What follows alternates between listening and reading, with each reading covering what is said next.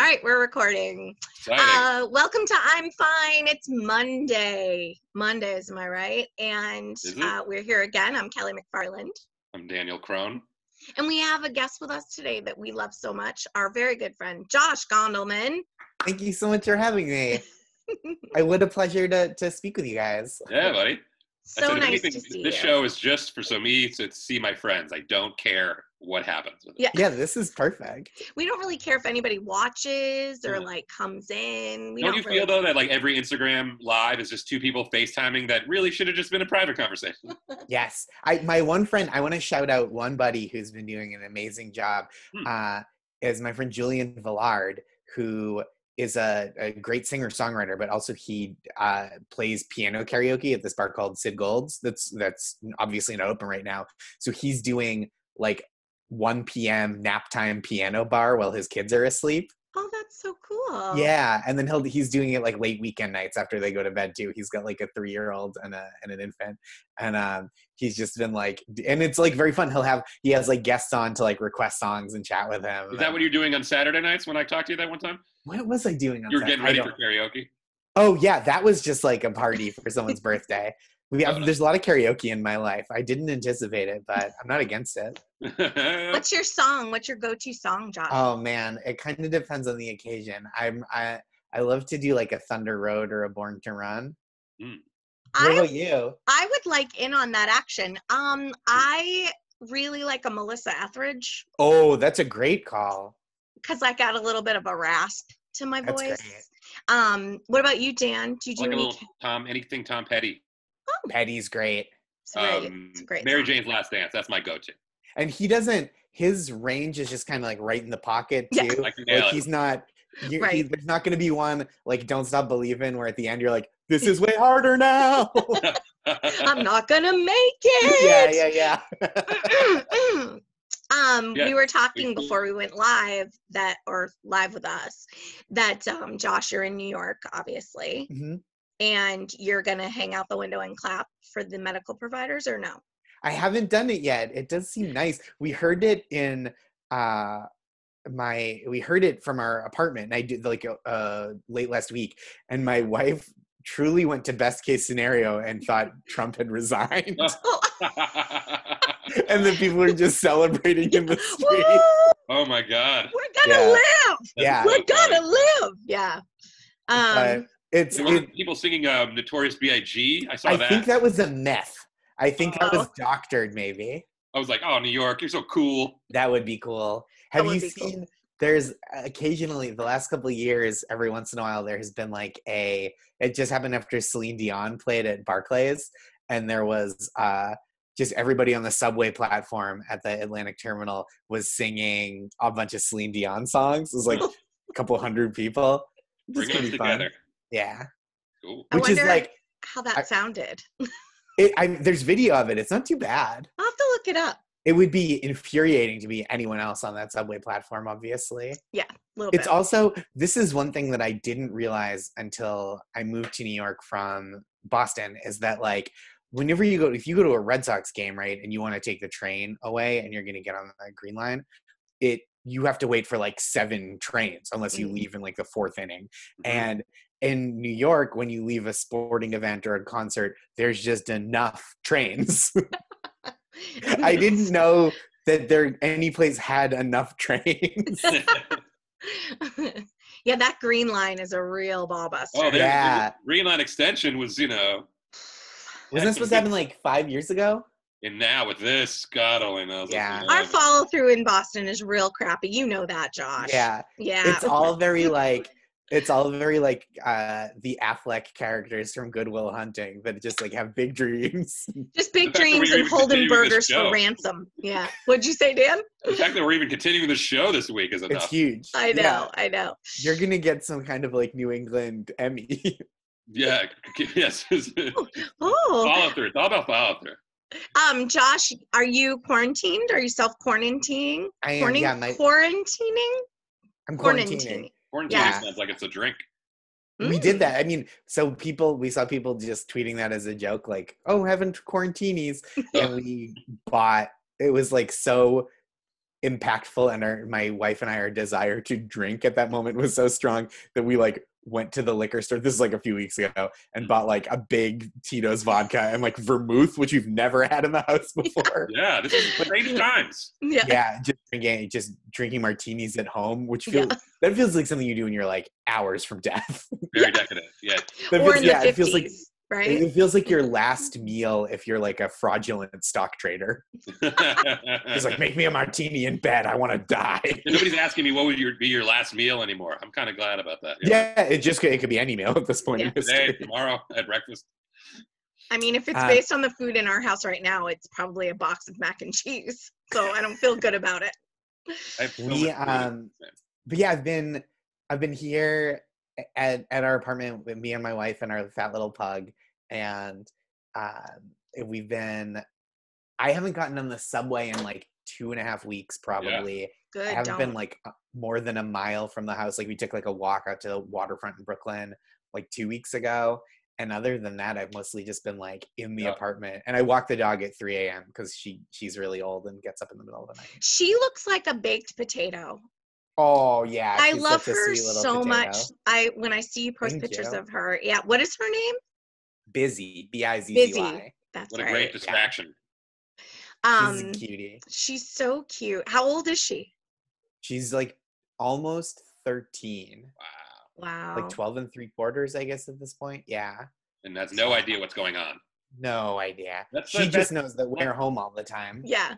Yeah, it's great. Every dog Yeah. is like, this is great. Yeah, she's into it. We're always there. But she's also been, I think, because she's so chill all day, because we're just here and she just is very relaxed and sleepy when we're around. She just like wakes up at 3 a.m. and is like, Well, I've I've been resting all day, so I don't need this now. I also think the dogs wake up and look at the people and they're like, wait, wait, you're still here right now? Yeah, what are you doing? Yeah. You? Don't you you get have fired? things to do? Are you fired? Are you fired? Would you Is get this- fired? We um I feel that way about my stepson because I forget he's here because during the day I'm typically here by myself, but like my husband's Right. home working and I feel like I've been in this bedroom for weeks.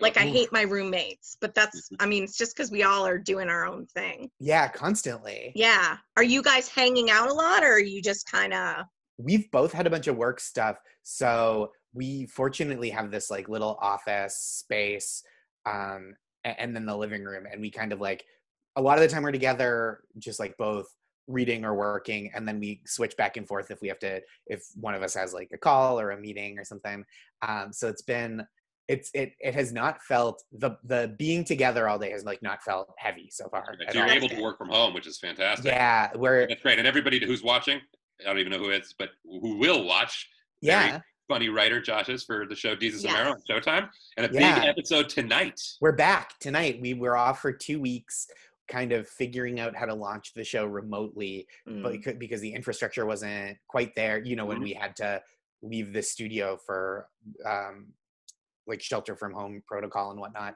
our shelter at home, and our post team, amazing. Our editors, our um, coordinators, uh, our, produ- our, our producer Julia Young, who's been like working with the editors. People have just been working so hard to get the show on the air tonight, and I'm so psyched for it. Yeah, guest is huge. yeah, Dr. Fauci, Amazing. the guy, Amazing. the man of the hour. Yeah, the guy um, like this behind Trevor. Yeah. Yeah, Oh my he god. was- he's very diplomatic. They asked him.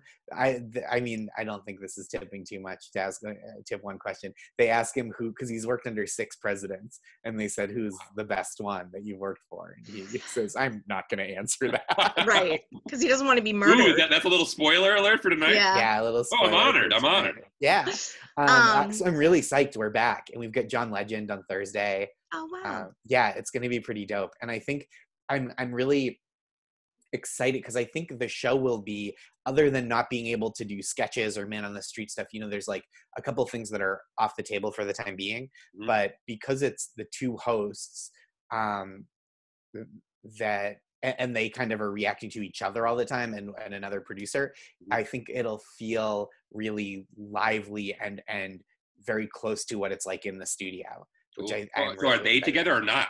they're not. No, they're at their separate houses. Sure, sure. Yeah, I mean, Yeah, it's an adventure, right? Everything now is an adventure. yeah.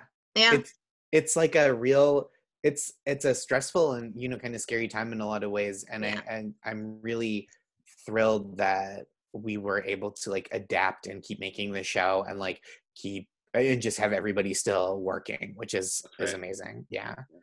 Great Um, position to be in. Definitely a lot of comics too are like are scrounging, and but there's also a lot of flexibility if you put Mhm. a positive outlook on it and say like you know people who are thinking on their feet are changing what they can do without the, the the pressure of a maybe a nine to five, which is like basically you show up here, you leave here, you do this job, that's it, and then people in sort of our line of work can be creative and try to figure out different things to do. So that's cool. yeah absolutely I, it's been really cool to see people like adapting and and like not just for their you know for their own sake in terms of like we have so many friends who make the whole, whole their whole living touring Right.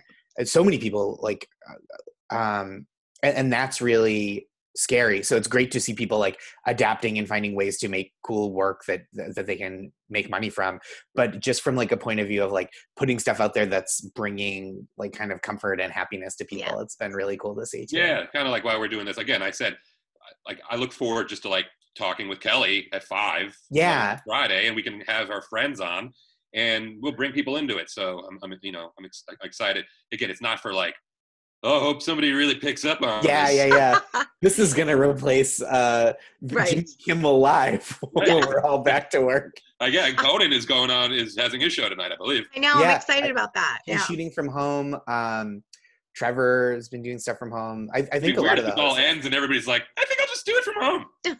yeah yeah yeah Let's hope that doesn't uh, happen with live stand-up comedy. So a I question know. I, I've asked a couple people, Josh, and again, who cares if you don't know the answer? None of us really know the answer answers. What's going on? When do you think stand, live stand-up comedy will return? And it doesn't need to be a thoughtful answer. Just give me your impression of what you think. oh i bet There's no right or wrong. I bet it'll come back slowly. Like um, Mm. I know a bunch of clubs in New York. Like I think the Cellar was trying to do it like up until they couldn't in a way where like they would sell half the tickets Mhm. and which is very comfortable for me. That's what it's like when I'm on the road.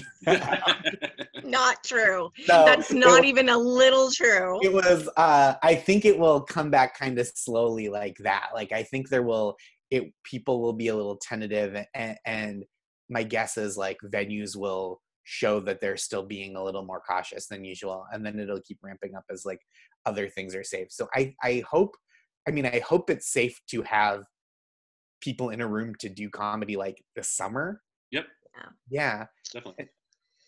I think it's a good Um, try. Summer could be a good trial period. yeah, Yeah. it's light anyway right. Uh, I know. We're. This is like summer before the summer because yeah that's there's right not a lot of shows, and Right. the only difference is like now it's still cold outside, so it's not like you can like go anywhere. Or Nope. I mean, we're not supposed to be going anywhere anyway. You should be No. social distancing. So that's so get used to people saying like, "Hey, we're going to pay you my summer rates." Oh, Yeah, hate that. right. Or people, you coming in and it's supposed to be half full and it's only a quarter full, and they go, "Hey, we were half packed last week." yeah. Sorry, we can't have you back. That's Dickens. almost sold out. Yeah, during the virus. Um, Yeah.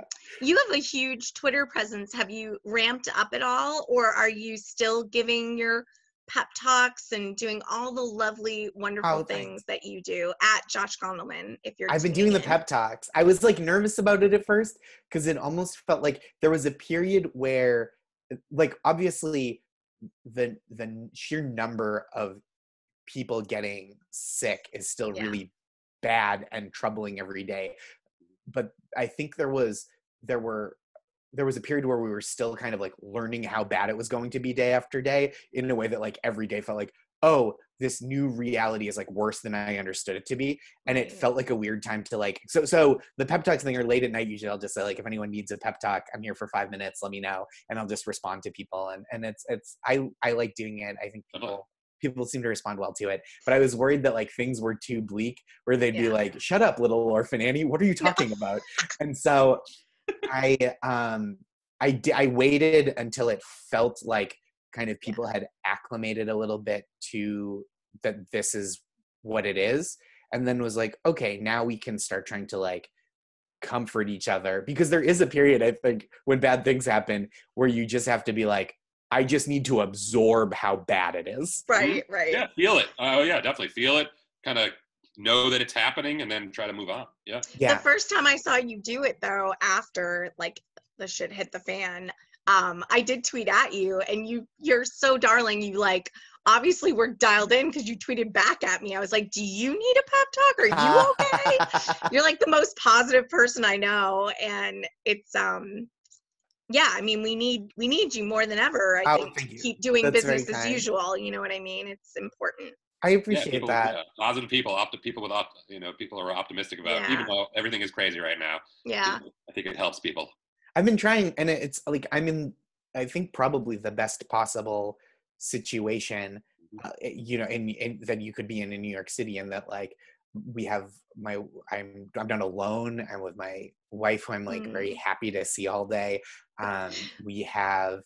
Uh, we it's just like you know we have enough space we can we can afford to pay rent like it's not um i think people have it a lot harder so i'm trying to like not not be like oh i can't feel stressed or sad but to be like okay i need to um i have this like extra bandwidth that i'm not worrying about like survival mode stuff and i want to try to like give back in ways that i can and that's a little like you know i've been trying to donate money to stuff but like that first week it was like at a rate that was unsustainable i was like i just can't keep get, eh, people are going to keep needing that money and i was Right. you know don't like anytime i'd see a gofundme i'd be like boop, boop, boop, boop, boop.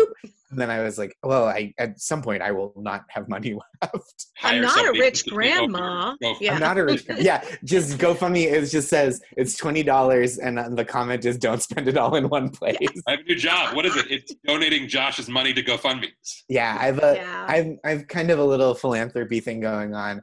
Uh, most of the money goes to the person who administrates my GoFundMe charity.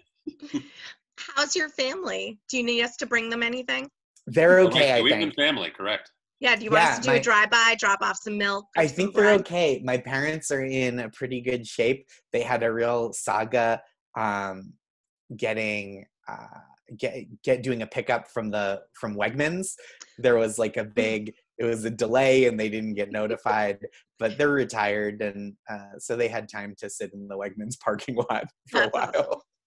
but I think they're I think they're okay. They're well situated. They're you know they're hanging out. and, Uh, I wonder if my mom is gonna. My mom's in this long running book club, and I wonder if they're gonna do it over Zoom. Oh, that's so fun. Yeah, they've done a book club for like twenty plus years together. I love that. Oh, Have yeah, they read could your book? Not together. They don't do nonfiction. Is the excuse they gave me. You and your wife, right? Both of you have books. yeah, yeah, yeah, yeah, yeah. That's true. Yeah, I mean, I feel like most people know you. Uh, however, if people see this and they don't know you, they, I mean, they should know you. You're a delight Thank and you. wonderful.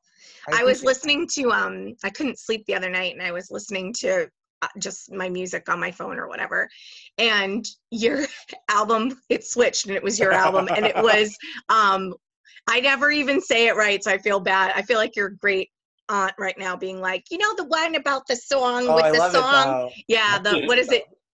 Kiss me knock and Kiss me neck. Kiss, Kiss me me neck, yeah. fancy. Yeah. I have Great. that long story about tangentially about the Patriots and my grandmother's funeral and um my and my wife. She's Yeah. very my wife is very funny and it's mostly I mean it's it culminates with a story about her being very funny. I also wrote jokes. I love, I'm also a comedian. Yeah, Yeah, She's I- very funny. loved it. I listened to the whole thing and was like, "Oh, it's just It's so sweet. anything anything to keep you going right now, right? Yeah. Anything that makes you feel happy. Right. that story's in the book too that was like i think there are two maybe three stories that i tell in stand up that i like kind of put a little more Mm. arc to and and slowed them down a little bit so i could put them in that my book uh, nice awesome. try stories of best intentions and mixed results available now wherever books are sold also Wish- i do like, think some it things is that would like pop up or something. hold on I know. Well, I uh, there we go. Oh, something like these, maybe Exciting. something. Uh, we need to Um, see the barcode, sir. The barcode. yeah. here's the isbn There you go. There you go. It's legit. hmm And That's but you can. I also did the the audiobook. So Did which you is, really? yeah, yeah, yeah, yeah, yeah. I'm gonna get that on Audible. That would be a joy. Or how about we read it right now? No, I'm just kidding. Yeah. Uh, read it right now. Soon, but why don't you just read it? No, horrible. Josh, Josh, will you come back on and see us? yeah, anytime. Definitely. You're a huge. That would be amazing. You're a huge sneakerhead, Josh. How Oh yeah. have you been investigating the sneaker world in the pandemic? I have. I've been poking around a little bit. Okay. How long did it take for you to be like? Because for me, I remember I think it was like last week that I went on Nike, and I was like, I think I'm feeling okay. Checking out Um, sneakers again. Yeah, I so okay. So the first week, so like three weeks ago, I guess, when it was a little when people were still kind of going places, but it just felt bad. Mhm. you know how it just feels bad. I up. we worked from home on Tuesday, and I'd seen these New Balances. I, I bought this New Balance sweatshirt, which I don't. I don't have a lot of New Balance clothing, but I got this one sweatshirt, and it's from the Kawhi Leonard line, and it just says uh, it's black, black hoodie, and in gold it says "fun guy" on the front. and so I was like, "Oh, I should get a pair of New Balance sneakers to wear with it." And oh, I I love that. I'd Yep. passed this place in my neighborhood, and so it was like just as things were kind of ramping up into people staying at home, and I bought them, and then I like, I uh, and I wore them at home. Oh. Yeah, I wore them at home. I had like a maybe I meeting or should do that. I have some Vapor Max that haven't hit the street yet. Yeah. Ah. So I did that with those. And then I I hadn't I think that was the first pair that I'd bought all year. So it's been like two and a half, been two and a half months. And I was like, I could it was like 80 bucks. I was like, this isn't a, a wild expenditure. And then I saw these um Air Maxes Mm. that you know how they say people go Valentine's Day, that's just a made up holiday to sell Right. candy and flowers. So Nike invented Air Max Day, which is literally just Yeah, to sell. Air Maxes. And they I ordered a pair. I was like, you know, I really Yeah, you- want You these. pulled the trigger. I'm still working, so it doesn't feel wildly irresponsible. Right. Um, but I'm not like I'm. I'm trying to not just be like, hmm, I wonder if the market will be depressed if Right. people aren't going out as much, so they don't buy as many shoes. Uh, so I'm right. just like collect another tower of sneakers. because I looked at my sneakers the other day, or not the other, maybe a week or two ago, and I was like, these are useless. I know, but I I have worn a couple pairs. I'm gonna keep so every show day Yep. for Desus and Mero, I wear I try to wear a different pair of shoes. Today's post was fantastic. Thank you. So today was just slippers. but I'm gonna go back to sneaker. I think I'm gonna go back to sneakers. I, you know what? I, I only did the slippers because I was like, I should put on sneakers for the taping, and then I forgot, and I was still wearing slippers, and I was like, well, this is funny anyway. It's totally funny. It is So funny. gonna- It's totally on brand for yeah, what we're going so I, right I now. think I'm gonna I'm gonna try to go back to sneakers just to feel like, okay, I'm going to work. Um, That's why I I've shaved today. Yeah, yeah, yeah, yeah. That was The a- interview that with a- Josh. Yep, we did it. I had kind of a more of a beard going, and I, Okay. I didn't have the materials to maintain it, so I had to scale it back. It was getting Right. And then all the shaving I'm doing, I'm like, what if I run out of razors and then there's no more razors? And then I'm again, I'm the very least of close your to Paco. worries. yeah, yeah. I was like, this could be my last time I ever shave. You could rock a beard, I think. No, no, it's bad. It's all thrown together. It's it's no good. You mean it's like a quilt? It's like not. I was gonna use a joke and then I realized it was that joke was done on The Simpsons, so I'm not telling the joke. what did they? What was the joke from The Simpsons? like it looks like it's like been pasted on by like pieces of like glue. Like I think you ever think like oh it's not I'm sorry, it's not Simpsons at all. It's actually Beavis and Butthead. Ooh, Oh. They try to grow a beard and they just take um uh barber shop oh yeah, yeah, yeah. and glue it to their face. That's so Oh. funny. Well, Josh, we know you have to wrap up with us, but Definitely. tell everybody one more time about your book. So my book, Nice Try: Stories of Best Intentions and Mixed Results. It's out now. You can order order from your local independent bookstore. Get the ebook. Um, that's out. It's the same words. Um, or order the uh, get the get the audiobook you can download from Audible or wherever, and it's it's my voice if you're not sick of it already. Any uh any non things you want to plug? Any causes? Anything you want to you Yeah. know your, your Oh man, that's a great question. Um, gosh, what was it? I've be- I've just been looking at um trying to donate to like service workers. I know a lot of comedy Mm. club um comedy clubs are are shut down for now, and and a lot of places have set up like GoFundmes and stuff for their employees. And uh, Mike, Ber- so here's my plug. Mike Birbiglia is doing these conversations also with, which is another great use of um, your yeah. Instagram Live called yeah, tip your servers, right? Tip your Yeah. server wait staff. Tip your wait staff. Tip your maybe tip your wait staff. Servers, right? And um, What do we say, what do we say when we're up yeah, there? what do we say? Uh, I try to always say it too when I'm headlining. I say tip your servers. Don't forget to tip your servers. I think I or say wait your staff. wait staff. I think I say wait. I don't know. Tip Yeah. everybody. Yeah, just tip out. Just fucking give people twenty. Just do it. Just make it rain out there. You're having a night. They're Make working hard. Uh, um, look yeah, up Mike Mike Birbiglia is doing Yeah. an awesome thing. Yeah. and he's do, so he's doing these conversations they joke writing conversations with other comics and they're Yeah. really great and and every one they talk about a couple of comedy clubs where where you can be helpful so and and i think like looking for people you know in the in the service industry is like it's a really hard time for a lot of people No doubt. Especially Absolutely. comics who also have that as their other job. i know right. Both are out. Oof. Brutal. thank you so much for having me Yeah, Josh, thanks again. Oh, thanks for coming on, Josh. my pleasure Um, be safe and healthy. thank you you too all right And love we'll you talk guys to you soon. Later, Love you too. bye Bye. Oh, we'll be back tomorrow, by the way. Oh, I feel like. I should say that. We'll be back tomorrow. You're gonna talk And um, tomorrow at Tuesday at five. about it. So Bye. we're here Monday through Friday, right, Dan? yeah, chime in. We're in it together. Friends, but if not, I get to talk to Kelly every day, so that's, That's right. very enjoyable. What you don't know is Dan and I talk every day anyway. That's actually my bedroom. I'm just kidding. Not. Dan is right here. No. Uh, we'll talk to you all tomorrow. I don't know who our guest is. Tomorrow's Tuesday. We're gonna have to figure it out, and we've uh, got, yeah, we've got a bunch of people this we're not, week. like pressured and like again, No. it's just fun, and we're happy anybody really cares at all. So, We just want you to be fine. And if you can be fine with us, we'd love that too. oh, we didn't ask Josh what he's getting for dinner. Oh, shoot. What are you having for dinner? That's a great question. I'm gonna do takeout from somewhere, and I'm excited about the, the possibilities. You are. Yeah. We got some pizza last night. What was that? It was okay. Okay, because I got pizza last week, and then I was regretted it for the full 24 hours after eating it. Yeah, it was okay. Um, and tonight I don't know what we'll do. Maybe leftovers. We grilled a bunch of chicken, so Oh, nice, nice, nice. yeah. Um, this week we do have some fun guests so coming on. We have a scientist coming on. We have a pair of brothers probably coming on. We have oh, Christine Hurley said she'd love to join Oh, us. We both love a Hurley. Um, so yeah, so Look, come Jimmy back and see us. So Jimmy, get your dumb brother out uh, on this because uh, I told him I can't pay him. I'm just kidding. I don't know. I- Yeah. But, uh, Um, yeah, so we'll be back with Oh, guests. Oh, right look who I just added in. Oh, Jimmy with his son, Wiley. All right, we're including this as bonus. Con- this is bonus content. This is bonus Right. content. I'm still recording, so Wiley, what's up, buddy? hi Watching Wiley. show tunes. He's pretty focused in this, though. I've, I've got him. What's He's up, so dude? cute. He's he's good with screen time. Can you at that head wave? hair on him. Does he wave? Show him your Bronx. Air high five. Wave to me, buddy. Give kisses. He doesn't do nothing. He's so He just cute. watches Singing in the Rain over and over and over again. You made him? This is something you made? Uh, This with science, person? nice job. we were bored. All right, so if you can't get your brother, we'll just have Wiley. That's right. Do something, buddy. Yeah, come on, buddy. How about a hand? Clap your hands, He's our second uh, baby that we've had on. We had a baby on. was la- your first? Oh, yes.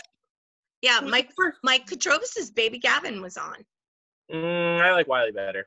Ooh, They're like both this. cute. I love this. Oh, he's leaving. He's like, I'm out of here. All right. Thanks, everyone. Bye, Jimmy. Goodman. We'll talk to you guys later. And we'll Bye. see you tomorrow at 5 for I'm Fine.